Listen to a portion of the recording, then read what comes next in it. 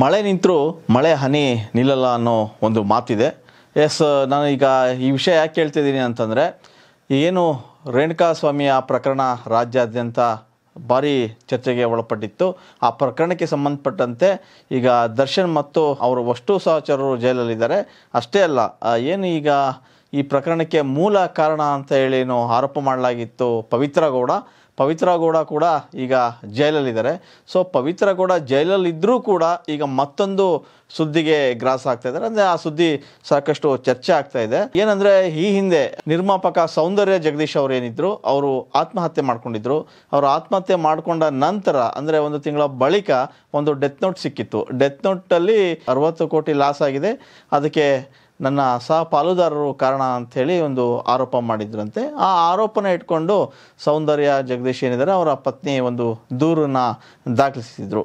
So ಆ ದೂರು ದಾಖಲಿಸಿದ ನಂತರ ಆ ದೂರಿನಲ್ಲಿ ಯಾರು ಹೆಸರು ಇದ್ರು, ಅವ್ರನ್ನ ಸುರೇಶ್ ಮತ್ತು ಹೊಮ್ಮಣ್ಣ ಅವ್ರನ್ನ ಕರೆಸ್ಬಿಟ್ಟು ಪೊಲೀಸರು ಎನ್ಕ್ವೈರಿ ಮಾಡ್ತಾರೆ. ಸೊ ಅವಾಗ ಅವರು ಕೂಡ ಈ ವ್ಯವಹಾರದ ಏನಿತ್ತು ಆ ವ್ಯವಹಾರಗಳನ್ನು ಯಾರ್ಯಾರ ಮೂಲಕ ವ್ಯವಹಾರ ಆಗಿತ್ತು ಅನ್ನೋದ್ರ ಬಗ್ಗೆ ತನಿಖೆ ನಡೆಸ್ರಿ ಅಂತ ಅವರು ಕೂಡ ಪೊಲೀಸರಿಗೆ ಹೇಳ್ತಾರೆ. ಸೊ ಅವಾಗ ಪೊಲೀಸರು ಸೂಕ್ಷ್ಮವಾಗಿ ತನಿಖೆ ನಡೆಸಿದಾಗ ಒಂದು ವಿಷಯ ಬಯಲಿಗೆ ಬರುತ್ತೆ. ಏನು ಅಂದರೆ ಸೌಂದರ್ಯ ಜಗದೀಶ್ ಅವರು ಪವಿತ್ರ ಗೌಡಿಗೆ ಎರಡು ಕೋಟಿ ಹಣ ಕೊಟ್ಟಿದ್ದಾರೆ ಅಂಥೇಳಿ ಅಂದರೆ ಎರಡು ಕೋಟಿ ಯಾಕೆ ಹಣ ಕೊಟ್ಟರು ಯಾವ ಕಾರಣಕ್ಕೆ ಕೊಟ್ಟಿದ್ದರು ಅನ್ನೋದು ಈಗ ಇಲ್ಲಿ ಚರ್ಚೆ ಆಗ್ತಿರೋಂಥ ವಿಷಯ. ಅಂದರೆ ಕೋಟಿಗಟ್ಟಲೆ ಪವಿತ್ರ ಗೌಡ ಯಾಕೆ ಪಡ್ಕೊಂಡಿದ್ರು ಅನ್ನೋದೇ ಸಾಕಷ್ಟು ಚರ್ಚೆ ಆಗ್ತಿರೋಂಥ ವಿಷಯ. ಇನ್ನು ಈ ಜಗದೀಶ್ ಅವರ ಏನು ಸೌಂದರ್ಯ ಜಗದೀಶ್ ಅವರು ಆತ್ಮಹತ್ಯೆ ಮಾಡಿಕೊಂಡ್ರು, ಅವರು ಆತ್ಮಹತ್ಯೆ ಮಾಡ್ಕೊಂಡಿದ್ದಕ್ಕೂ ಮತ್ತು ಪವಿತ್ರ ಗೌಡಗೆ ಎರಡು ಕೋಟಿ ಕೊಟ್ಟಿದ್ದಕ್ಕೂ ಏನಾದರೂ ಸಂಬಂಧ ಇದೆಯಾ?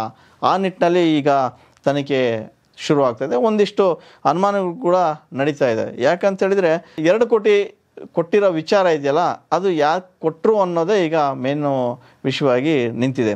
ಅಂದರೆ ಸೌಂದರ್ಯ ಜಗದೀಶ್ ಅವರು ಪವಿತ್ರ ಗೌಡಗೆ ಒಂದು ಕೋಟಿ ಹಣನ ಮೊದಲು ಆನ್ಲೈನ್ ಮೂಲಕ ಅಂದರೆ ಅವರ ಖಾತೆ ಮೂಲಕ ವರ್ಗಾವಣೆ ಮಾಡ್ತಾರೆ. ಎರಡು ಸಾವಿರದ ಹದಿನೇಳು ನವಂಬರ್ ಹದಿಮೂರರಂದು ಒಂದು ಕೋಟಿ ಹಣನ ವರ್ಗಾವಣೆ ಮಾಡ್ತಾರೆ.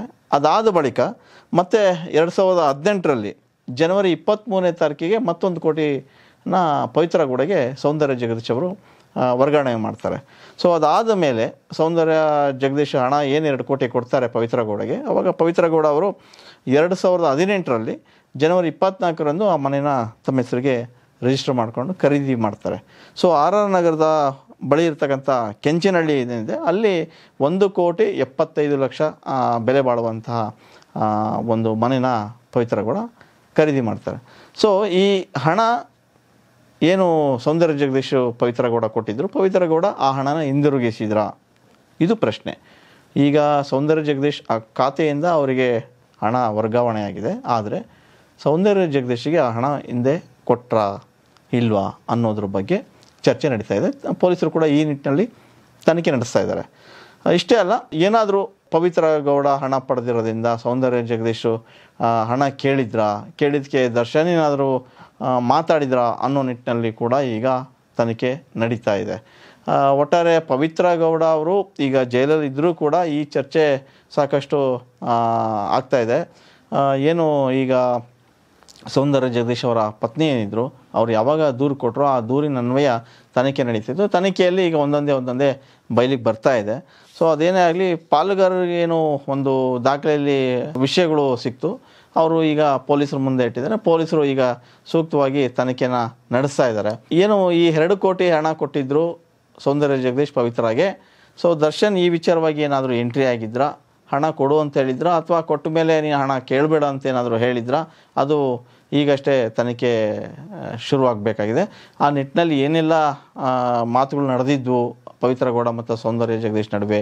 ಈಗ ಪವಿತ್ರ ಗೌಡಗೆ ಸೌಂದರ್ಯ ಜಗದೀಶ್ ಹಣ ಎರಡು ಕೋಟಿ ಕೊಟ್ಟಿದ್ದಾರೆ ಅಂತಂದರೆ ಪವಿತ್ರ ಗೌಡ ನೇರವಾಗಿ ಕೊಟ್ಟಿರಲ್ಲ. ಅಂದರೆ ಅಲ್ಲಿ ದರ್ಶನ್ ಎಂಟ್ರಿ ಆಗಿರುತ್ತೆ, ದರ್ಶನ್ ಹೇಳಿದ ಕಾರಣಕ್ಕೆ ಕೊಟ್ಟಿದ್ರು. ಅಥವಾ ದರ್ಶನ್ ಅವರ ಒಡನಾಟ ಹೆಚ್ಚಾಗಿತ್ತು, ಪವಿತ್ರ ಕೊಡುಗೆ ಆ ಕಾರಣಕ್ಕೆ ದರ್ಶನ್ ಗೆಳತಿ ಅನ್ನೋ ಕಾರಣಕ್ಕೆ ಇವರು ಸೌಂದರ್ಯ ಜಗದೀಶ್ ಕೊಟ್ಟಿದ್ದರು ಗೊತ್ತಿಲ್ಲ. ಒಟ್ಟಾರೆ ಈಗ ಏನು ಅರವತ್ತು ಕೋಟಿ ನನಗೆ ನಷ್ಟ ಆಗಿದೆ ಅಂತೇಳಿ ಸೌಂದರ್ಯ ಜಗದೀಶ್ ಹೇಳಿದರು. ಆ ಹಿನ್ನೆಲೆಯಲ್ಲಿ ಸೌಂದರ್ಯ ಜಗದೀಶ್ ಅವರ ಪತ್ನಿ ಒಂದು ದೂರನ್ನ ಕೊಡ್ತಾರೆ. ಆ ದೂರು ತನಿಖೆ ನಡೆದಾಗ ಅಲ್ಲಿ ಸುರೇಶ್ ಮತ್ತು ಒಮ್ಮಣ್ಣ ಅನ್ನೋರು ಏನು ಪಾಲ್ದಾರ್ ಇರ್ತಾರೆ. ಅವರು ಸೂಕ್ತವಾಗಿ ಇದನ್ನು ದಾಖಲೆಯನ್ನು ಪರಿಶೀಲನೆ ಮಾಡಬೇಕು ಅಂತೇಳಿ ಹೊರಟಾಗ ಒಂದು ದಾಖಲೆ ಸಿಗುತ್ತೆ. ಆ ದಾಖಲೆ ಏನಂದರೆ ಅವರ ಖಾತೆಯಿಂದ ಪವಿತ್ರ ಗೌಡಗೆ ಹಣ ವರ್ಗಾವಣೆಯಾಗಿರುವಂಥದ್ದು. ಸೊ ಎರಡು ಕೋಟಿ ಹಣ ಕೊಟ್ಟಿರೋದು ಈಗ ಸಾಕಷ್ಟು ಚರ್ಚೆಗೆ ಗ್ರಾಸವಾಗಿರುವಂಥದ್ದು. ಒಟ್ಟಾರೆ ಪವಿತ್ರಗೌಡ ಜೈಲಲ್ಲಿ ಇದ್ದರೂ ಕೂಡ ಯಾಕೆ ಈ ವಿಷಯ ಚರ್ಚೆ ಆಗ್ತಾಯಿದೆ ಅಂದರೆ ಸೌಂದರ್ಯ ಜಗದೀಶ್ ಆತ್ಮಹತ್ಯೆ. ಅಂದರೆ ಅವರೇನು ಆತ್ಮಹತ್ಯೆ ಮಾಡಿಕೊಂಡ್ರು ನನಗೆ ಲಾಸ್ ಆಯಿತು ಅನ್ನೋ ಕಾರಣಕ್ಕೆ ಆತ್ಮಹತ್ಯೆ ಮಾಡಿಕೊಂಡ್ರು ಅನ್ನೋ ಸುದ್ದಿ ಸಾಕಷ್ಟು ಓಡಾಡಿತ್ತು. ಅದಲ್ಲದೆ ಯಾರ್ಯಾರಿಗೆ ಹಣ ಕೊಟ್ಟಿದ್ರು ಅನ್ನೋದು ಮಾತ್ರ ಚರ್ಚೆ ಆಗಿರಲಿಲ್ಲ. ಈಗ ತನಿಖೆಯ ಬಳಿಕ ಮತ್ತಷ್ಟು ವಿಷಯಗಳು ಹೊರಬರಬೇಕಿದೆ.